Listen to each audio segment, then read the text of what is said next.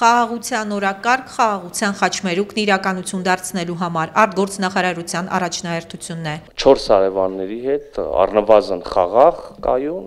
իսկ լավագույն դեպքում սերտ համագործակցային կամ բարեկամական հարաբերությունների ձևավորումը։ Ընթացիկ տարին պլանավորվածով չընթացավ ըստ Արարատ Միրզոյանի։ Լեռնային Ղարաբաղում էթնիկ զտումներ էին փրկվելու այլ ելք չկար, քան լքել հայրենիքը, բայց Հայաստանը միջազգային հարության ողջավորության ներքո կարողացավ տեղավորել փախստական դարձած շուրջ 100 000 մարդ մարդու։ Նույնիսկ վրանային ավաններ չկազմակերպեցին։ Հիմա արդեն Բաքվի հետ խաղաղության խմբագրված առաջարկների փոխանակման 6-րդ ռաունդն է։ Հայաստանն ու Ադրբեջանը պետք է ճանաչեն միմյանց տարածքային ամբողջականությունն ըստ Արարատ Միրզոյանի։ Նշվում են երկու երկրների հանրագիտարանային տարածքային տարածքների մակերեսները 29800 եւ 86600 Հաջորդիվ սահմանների ճշգրտումն է խորհրդային միության ամենաթարմ 75 թվականի քարտեզներով, բայց իրական թիվն ըստ արտգործնախարարի այլ է։ Դրանք այն նախ եւ առաջ 1900 74-78 թվականների քարտեզների խումբը։ Եվ վերջապես տարածաշրջանի ենթակառուցվածքների եւ ճանապարհների ապաշրջափակում Հայաստանը ոչ թե դեմ է, այլ հենց ինքն է շահագրգռված, ասում է արտգործնախարարը։ Բոլորային ենթակառուցվածքները, որոնք պետք է ապաշրջափակվեն, եւ օգտագործվեն հարևան երկրների կողմից, այսինքն մենք իրենցը, իրենք մեր ենթակառուցվածքները, բոլոր այսպիսի ենթակառուցվածքները պետք է շարունակեն գործել այն երկրների ինքնիշխանության եւ իրավազորության ներքո, որոնց տարածքով անցնում են։ Արտգործնախարարն ասաց, որ լավ լուր ունի եւ լավատեսություն հայ-թուրքական հարաբերությունների մասով։ Առնվազն այն մեր պայմանավորվածությունը, որը վերաբերում էր Հայաստան-Թուրքիա միջպետական ցամաքային սահմանը բացելուն հատուկ խմբի մարդկանց առայժմ, հա, համար։ Թուրքի հետ խաղաղության գնացող Հայաստան ինքնիշխան տարածքից որքան են օկուպացրել ադրբեջանցիները, ուղիղ հարց նախարարին ընդդիմադրից։ 200 քառակուսի կիլոմետր Հայաստանի Հանրապետության տարածք, որոնք հիմա գտնվում են ադրբեջանական ուժերի ներքո։ Նախկինում 150 քառակուսի կիլոմետրի մասին էր խոսվում։ Թիվը իրոք ասկան ճշգրտված չէ, միշտ էլ մոտավոր ենք խոսում դրա վերաբերյալ։ Ես որևէ նոր տվյալների մասին չեմ չեմ լսել 50 կիլոմետր քառակուսին կներ պարոն փոխնախարարություն տենց բան չի էլի որ անճշտություն լինի եւ միանգամից 50-ով ավել ասի չէ դե դեք բայց դա ահռելի ինչ որ գումարել չէ էլի Հայաստանի ինքնիշխանությունից է խոսում երկրի կառավարումը ձախողած Արցախն իրենց ամենամեծ խնդիրը համարող իսկ այժմ հարցը փակած իշխանությունը ով ծափողջունային դոկտրին է որթե գրել ողևորված Եվրախորհրդարանի ծափերով հայտարարեց Քրիստինե Վարդանյանը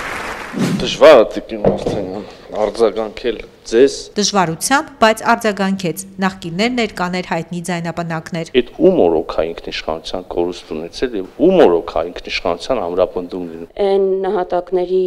աջունները, որոնք Հայաստանի Հանրապետության ձեր ինքնիշխանության պայմաններում այդպես էլ չեք չենք կարողանում ընտանիքներին վերադարձնել Հայաստանի Հանրապետության տարածքում կարծվող գործարանների ուղությամբ կրակոցը, այն թռիչքները, որը հայտարարում եք, որ Կապանի օթանավականից պիտի լինեն ու այդպես էլ չեն լինում։ Հեգնանքով նշում եք, որ մենք չենք կարողանում ձեռք ձեռք բերել, մենք կարողանում ենք ձենք ձեռք բերել անհամեմատ ավելի եւ անհամեմատ ավելի շատ երկրներից, քան ձեր քաղաքական կուսակցությունը կհանդգներ կամ կերազեր ամենապայծառ երազում այդպիսի գործարքներ անել, գնալ տարբեր երկրներ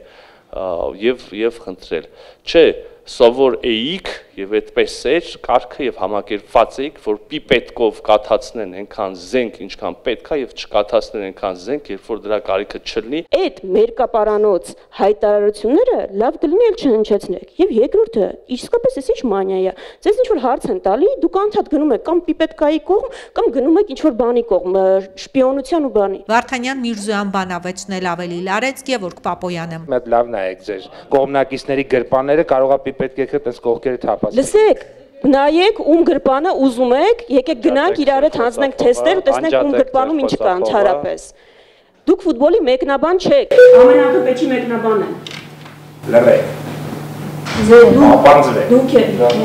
Հարգանքով խոսեք։ Ստեղ ԿՊ խմբակցությունը նստած չի։